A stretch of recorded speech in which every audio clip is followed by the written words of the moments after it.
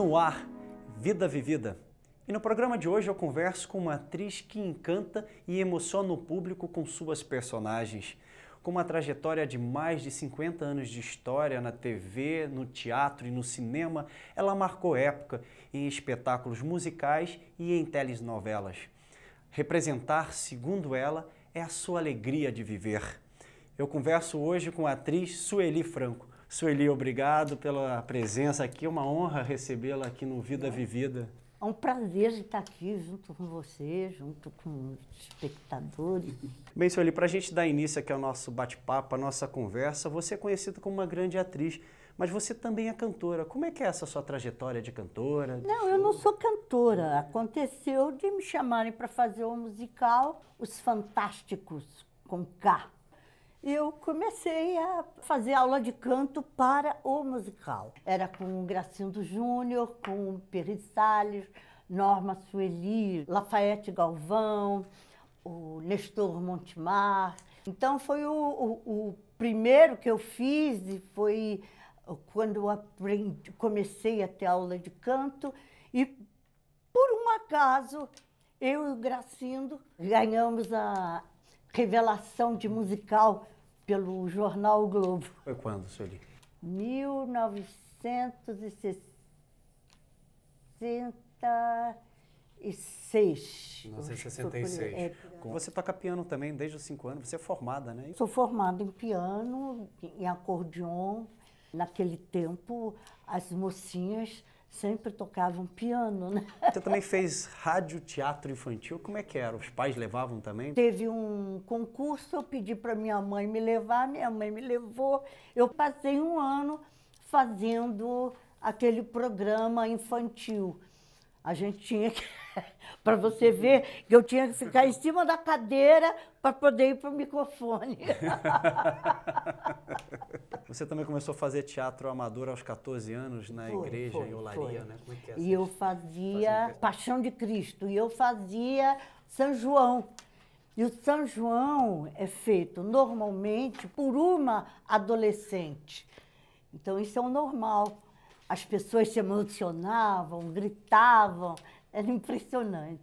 Foi daí que surgiu o seu interesse pelo teatro? Isso foi aos 14, mas aos 7 eu estava fazendo rádio teatro. Eu sempre me interessei por isso. Acho que eu já brincava com as bonecas, brincava de teatro, mas fazendo você... historinha.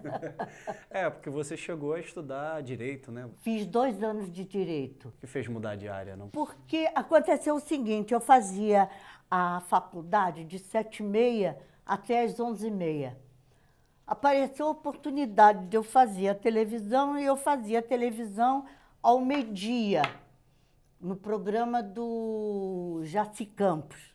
Televisão na onde? Qual TV? Era? TV Tupi. A TV, TV Tupi, Tupi, Rio. É, é. Aí eu fui chamada para fazer o, o... Desculpa, Sueli, o que você fazia na TV nessa época? Apresentação de programas, apresentação de jornal, teleteatro que naquele tempo era assim, 10 minutos um programa, 15 minutos outro. Então, a novela era de 20 minutos. Comecei no programa do Jaci Campos, fazendo telepropaganda, e depois, conforme a gente foi conhecendo as pessoas, fui fazendo os teleteatros, né? Aí eu fui chamada para fazer o Beijo no Asfalto, que foi quando eu comecei a, a conhecer o Sérgio Brito, a Fernanda. E tinha o ensaio de tarde para fazer o teatro. E depois, à meia-noite, a gente começava a ensaiar o grande teatro, que era às 10 horas da noite. Então, ensaiava até às três, às quatro da manhã. Para estar às sete e meia na sala de aula, não dava, né? E como que eu gostava era mesmo fazer isso, pedir um milhão de desculpas a papai, a mamãe, pedir perdão, disse, não vai dar para fazer isso, que isso eu não gosto de fazer, eu vou fazer o teatro. Bom para nós, né? Bom, Sueli, vamos falar um pouquinho da sua infância, dos tempos de colégio, né? Como era a Sueli Meninota? Tenho certeza que muito levada, não? Muito, muito levada mesmo. Eu gostava muito de brincar, gostava de subir em árvore, gostava de, de, de aprontar, mas eu era muito estudiosa. Eu estava sempre na primeira fila. e foi lá que começou também a questão da gente fazer literatura, fazer, fazer apresentações na escola. Você é daqui do Rio, mas você nasceu aonde? Eu nasci em Vila Isabel, terra de Noel, mas só fiquei lá 15 dias e fui criada em Olaria. Depois eu me mudei para Urca. Mas toda o começo de estudar piano, o começo de estudar acordeon, a formação toda, tudo foi em Olaria, no Teatro Santa Teresa, que hoje infelizmente não existe mais. Mas também o teatro dentro da igreja, onde eu tocava órgão na missa, já cantava no coro da igreja. Então tinha tudo isso, né? Nas apresentações de escola, eu tocava acordeon. Eu sempre tinha vivido vida com esse. Aonde tinha uma festinha, eu estava lá, ou para cantar ou para tocar. Bom, Sueli, a gente vai dar uma paradinha e na sequência, mais curiosidades, mais história de Sueli Franco para você. Não saia daí. Você não precisa de um professor de valsa, não é? Não. Mas eu preciso de um par.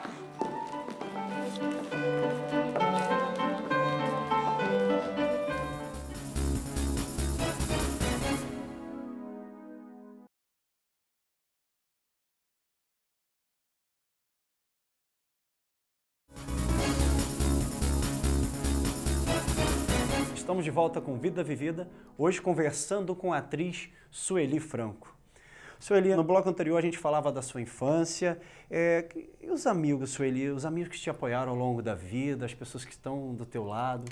Eu tenho amigos até hoje do tempo da escola, mas que infelizmente não estão aqui, estão em Brasília, estão em Salvador.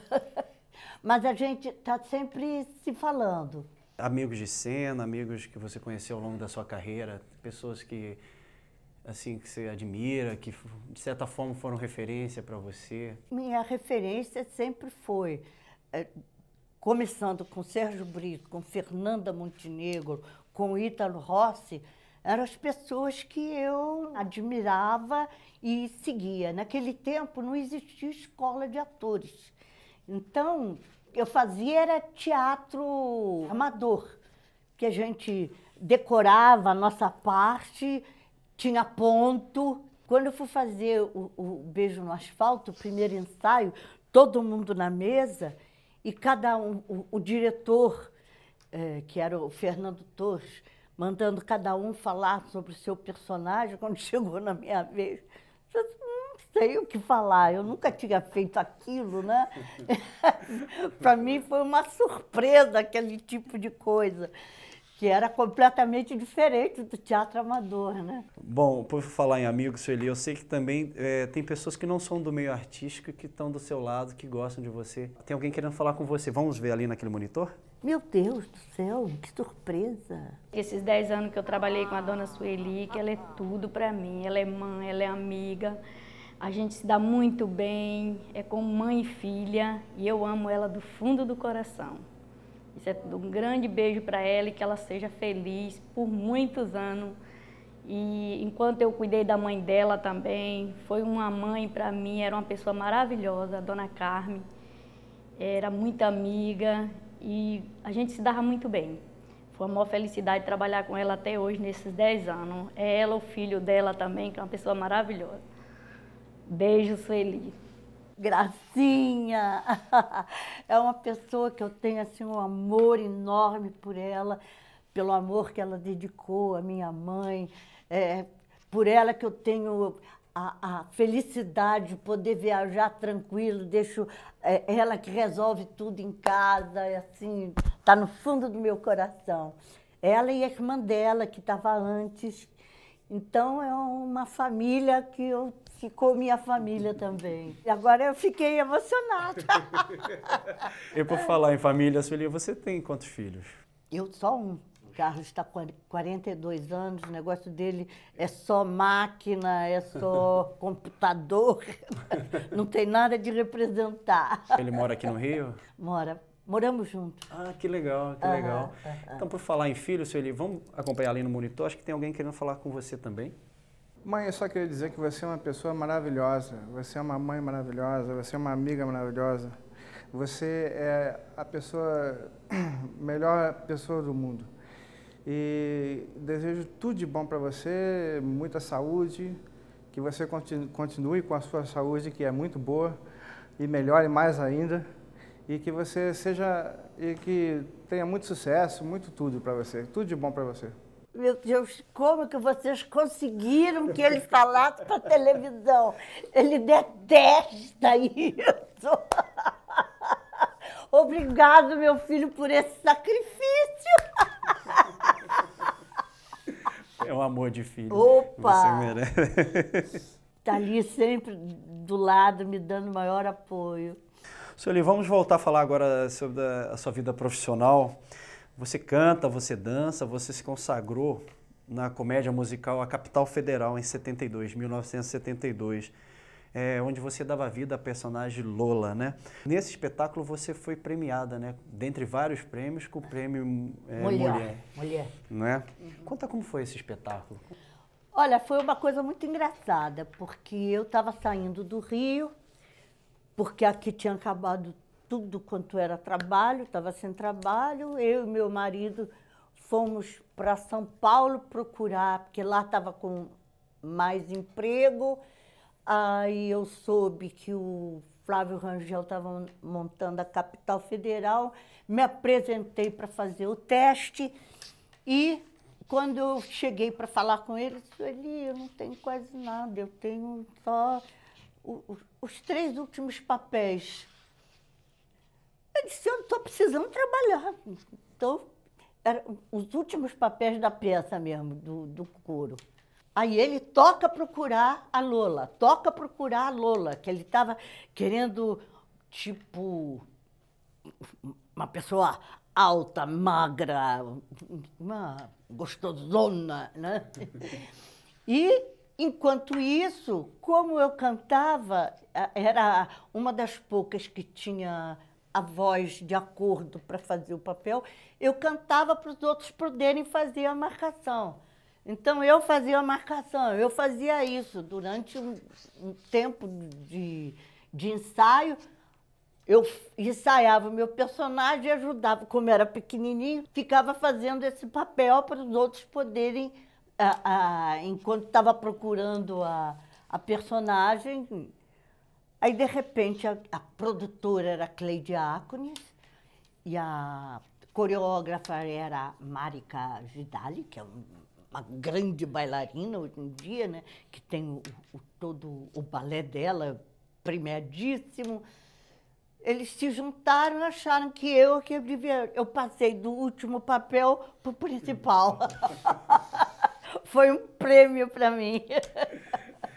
Vamos continuar falando de teatro, né?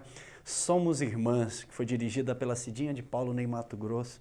É, você atuava ao lado da Anissete Bruno, da Cláudia Lira, da Cláudia Neto, né? Como foi fazer esse espetáculo também?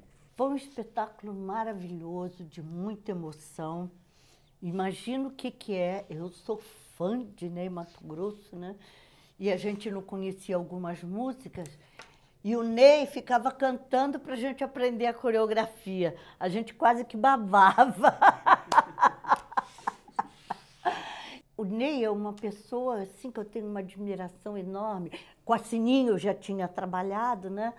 A Sininha fez aquela parte toda da movimentação. E o Ney dirigia de uma forma. Eu perguntava uma coisa para a Sininha, perguntava outra para o Ney eles faziam, davam a mesma resposta. Eles estavam em absoluta sintonia, né? O Ney dizia umas coisas assim para a gente modificar, coisas pequenas, mas que quando a gente fazia essa